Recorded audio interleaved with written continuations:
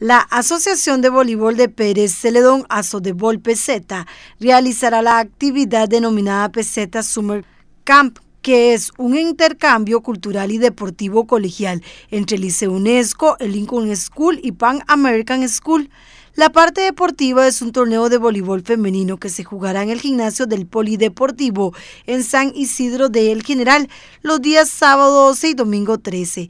Las instituciones que visitan el cantón sufragan todos sus gastos.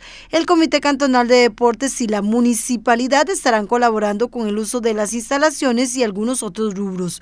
Como una actividad adicional, la Federación Costarricense de Paravoleibol, voleibol para personas con capacidades motoras reducidas en el tren inferior, realizará el sábado un taller para profesores de educación física y público en general, en donde enseñarán las técnicas básicas del deporte.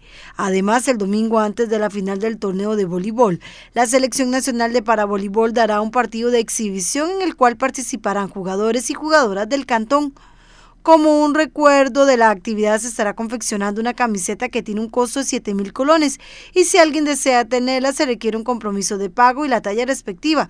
Si se le envía también la muestra de la misma. Para más información pueden comunicarse con la Asociación de Voleibol de Pérez Celedón.